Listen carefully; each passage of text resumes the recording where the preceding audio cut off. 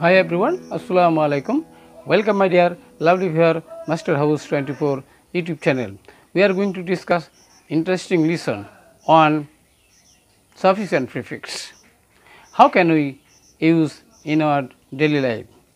আর এই বিষয়টি জানতে হলে অবশ্যই তোমরা আমার ভিডিওটি দেখতে পার্টিসিপেট করবে আর তোমরা যারা নতুন রয়েছে অবশ্যই আমার চ্যানেলটি সাবস্ক্রাইব করবে কেন সাবস্ক্রাইব করবে আমি তোমাদের জন্য যখন কোনো নতুন ভিডিও দেবো, তখন তোমরা অবশ্যই নোটিফিকেশন পেয়ে যাবে তোমাদের ল্যাপটপ কম্পিউটারে আর তোমরা যারা ইতিমধ্যে সাবস্ক্রাইব করেছ, তাদেরকে ম্যানি ম্যানি থ্যাঙ্কস তাহলে আজকে চলো আমরা, আজকের সেই সাফিক্স এবং প্রিফিক্স কীভাবে আমাদের গ্যাপে আমরা ইউজ করতে পারি, সেই বিষয়টি জানব।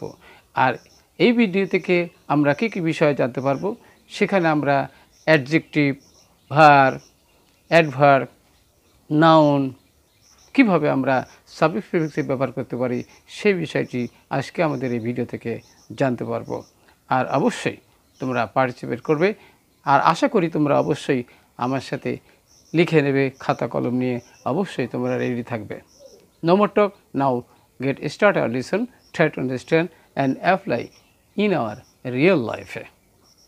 Okay, now go to our whiteboard. Try to understand.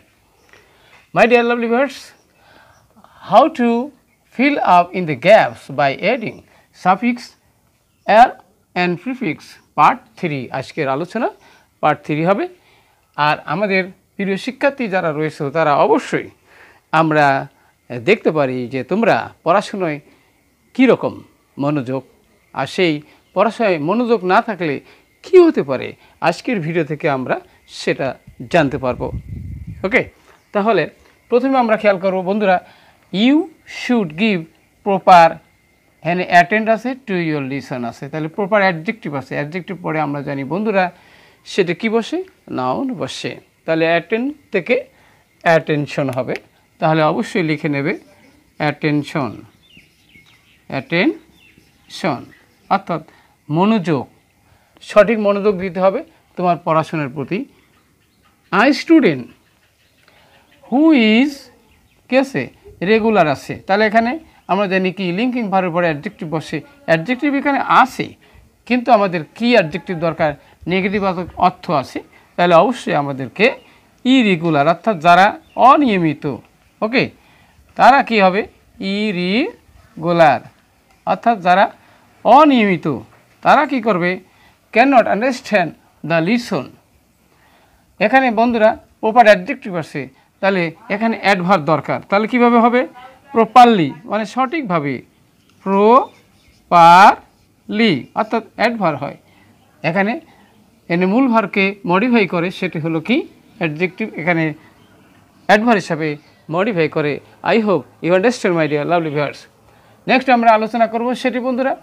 Nor he was she can আক্স the teacher সে টিচারকে কি করতে পারে না? লিসনটি জানার জন্য সে কি করতে পারে? প্লেন হবে না? তাহলে কি হবে এবার?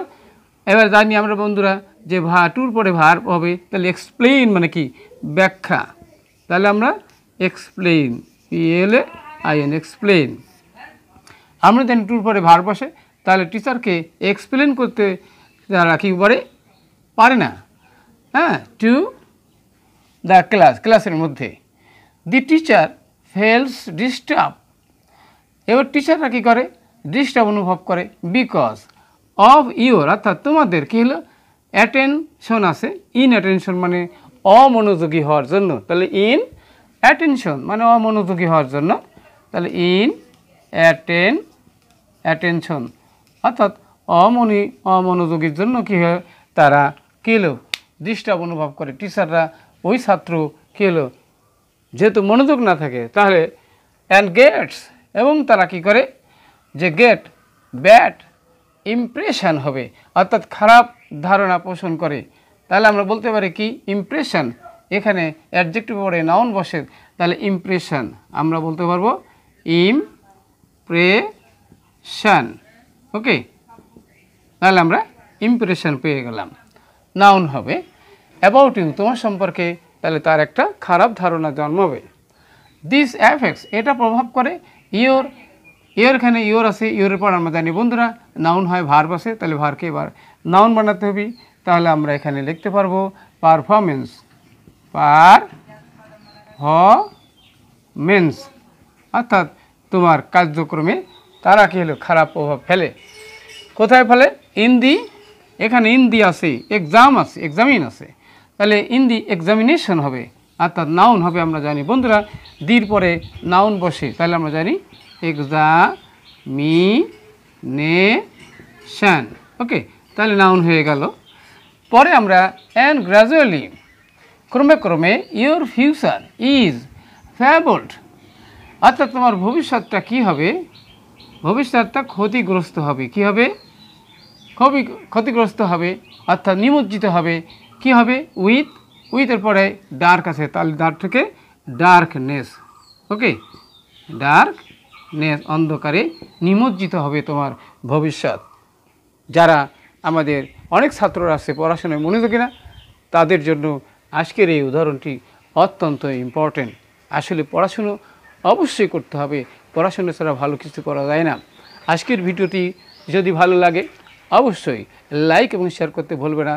সবার সুন্দর এবং সুখী জীবন কামনা করে পরবর্তীতে আমরা আবারও তোমাদের অনুরোধের ক্লাস নিয়ে ক্লাস নিয়ে হাজির হব। সবার সুন্দর এবং পরীক্ষায় তোমরা ভালো ফলাফল করো। সেই প্রত্যাশায় আজকে ক্লাস এখানে শেষ করছি।